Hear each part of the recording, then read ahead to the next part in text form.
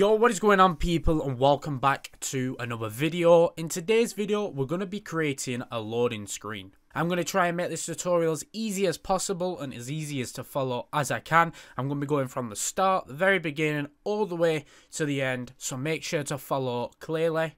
And also, if this tutorial does help you out, please do leave a like and a subscription. If you do need any further help with any modding, please do join my Discord. There will be a link in the description. And also, if you guys could please head over to my Twitch. I'm going to start streaming more and I would appreciate it if you guys could all come and check it out. So what we want to do firstly is we need to head over to Steam. We need to install DayZ Tools. So we're going to go to all. And as you can see, I have got these enabled. You need to enable the tools section. So for you, it may look like this originally.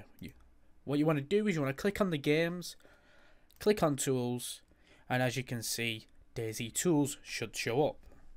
Now, if you haven't got it installed already, there should be a big blue button here that says install. I think you guys should already know how to click install and install a game. You can install it to where you want, it doesn't really matter. But once you have DayZ Tools installed, launch it and click play. And then once it opens, it should look something like this. It might say N, N, N, but it should look like this. I want you guys to head over to Tools, Extract Game Data, and then click yes. Now that might take an hour, it depends on how quick your PC is, but the average is around half an hour to an hour. Once that's done, you should head over to tools again and select mount P drive. It's going to come up with a menu and you're going to select yes. And once you've done that, you should be able to head over to your folder and then click over here on P and then it should look something like this. It'll have some files in and I'm going to put a picture up on the screen how the default P drive should look like. The only reason why mine looks like this is because I've got many, many mods in here. But your P drive should look pretty plain and simple. We're going to now go over to here and we're going to click new folder. And in here, we're going to type workbench images. Once that's typed out, that's perfectly fine. You're going to see what we're going to do with this folder later. You guys now want to head over to this website. There will be a link in the description and I want you guys to download WinRAR. Now, also in the description, there's going to be some files. Now, these are your loading screen files, and this is why you need this tool. So get the tool first, then head over to the description again, and download the link and it will give you something like this. Once you open that, what you've just downloaded, it will give you a folder saying loading screen. There'll be a config, a scripts folder, and a GUI folder. We're going to head over to the P drive again. So here we are. We've selected the P. And what I'm going to do is I'm going to get this folder and drag and drop it in the P folder. Now just to double check, click P again, click on here and press the letter L. As you can see, we now have the loading screen folder and all the files are here. Now it's pretty simple. We're not even going to touch these. We don't need to touch these files to make this loading screen work. So what I want you guys to do now is I want you to get an image editing software. Now I'm going to be using Photoshop, but you guys can use GIMP or you can use anything that you prefer. So I've got Photoshop open now and what I need to do is create a new image. Now you guys, this should be the same principle whether you're using Photoshop, GIMP, Paint, it doesn't matter. It should be normally file new. So, we've pressed File New. We want the width to be 1920 by 10,080. Click OK once that's created and you should get an image basically that looks like this. A white plain box that's longer this way and it's shorter here. So there we go. We have the image. Now this, you can do whatever you want on now. So I'm going to go to File, Place, and I'm going to use an image that's on my desktop. I'm going to use this image here. Now I'm going to realign this image. As you can see, there's a tiny little white smudge at the top. So I'm going to make it perfectly fit. Now what you want to do is you want to head over to File, Save As. You want to go to this PC. You want to go to Local Disk P. And we're going to go to that folder that we created earlier. So it was called Workbench Images. And in here, we want to save it as file format PNG. Now, it does not matter what the name is called, but we're going to call it loading screen.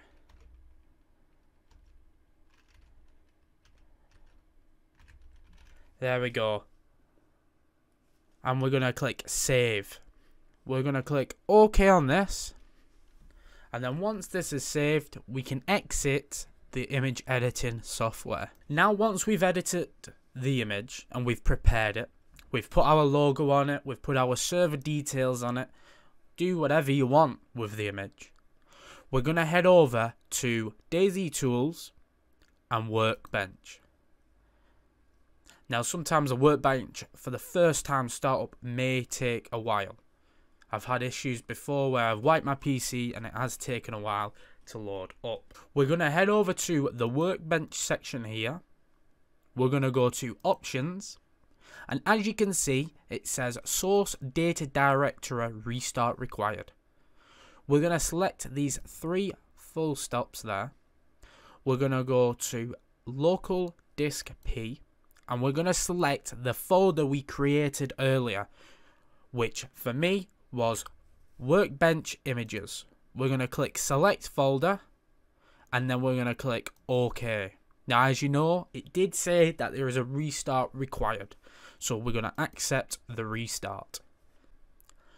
Once it's restarted, it should look something like this. It'll just be all this colour and there's nothing here.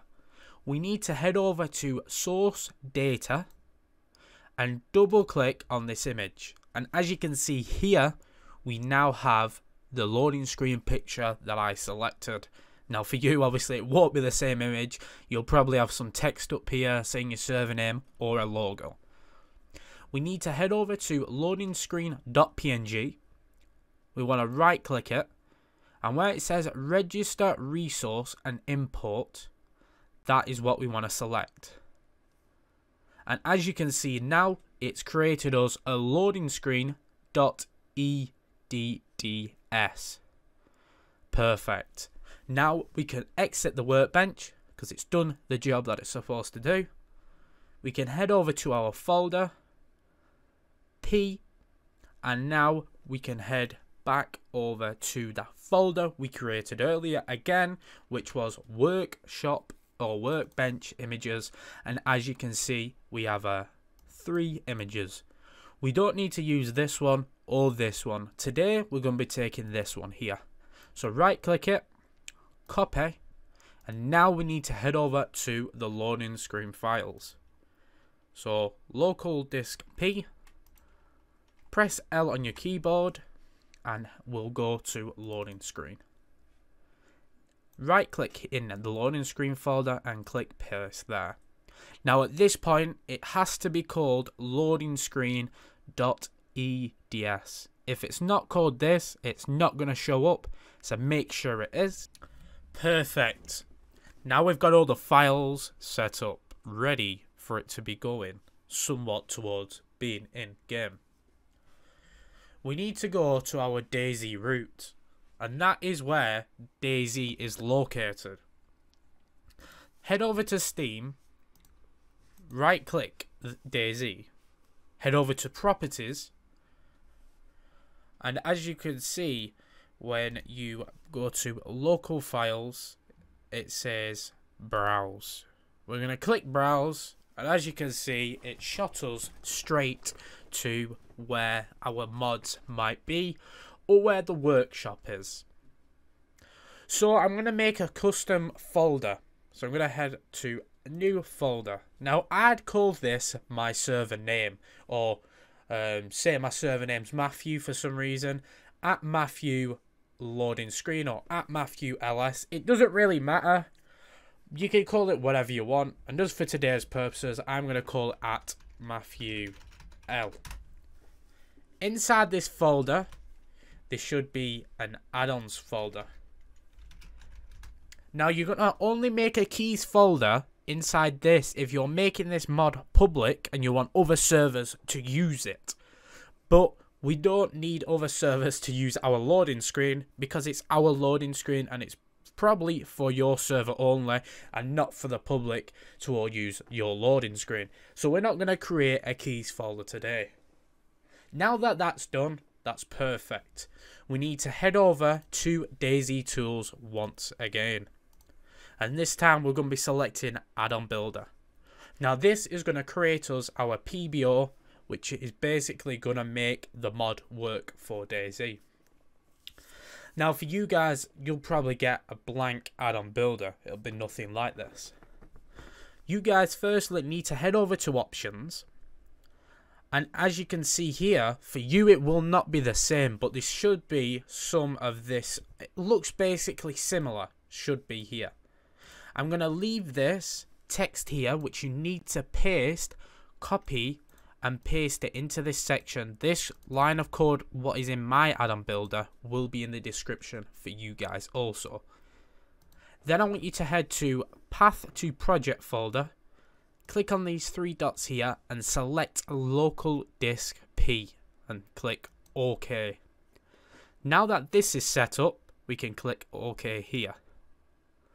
I want you to head over to add-on source directory, select these three dots, and I want you to select the loading screen folder. So click on one of these folders, then press L until you find the mod. So here we go, loading screen and it's the correct folder. We're going to click OK and now we're going to head over to destination directory or file name. We're going to select these three dots again and the folder we just created a minute ago is what we're going to select.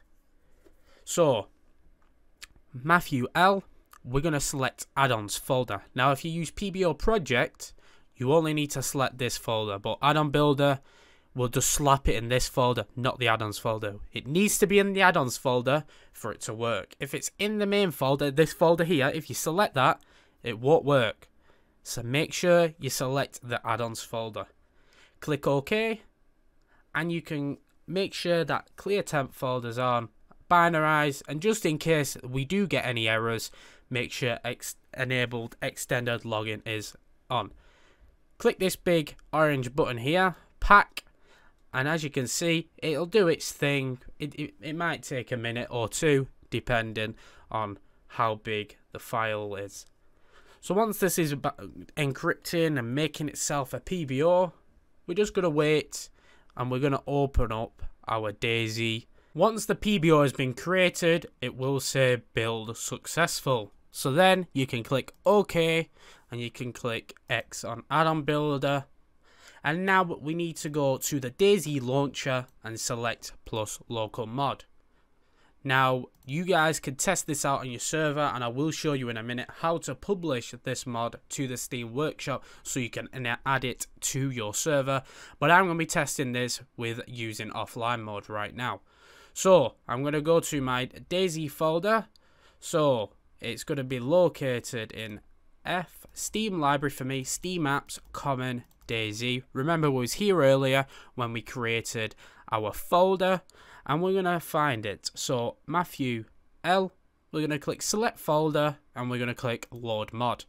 Now I've got my DayZ offline mode set up here with the parameters. I do have a video on that if you do want to test it out, but most of you guys probably will be checking this out on your server.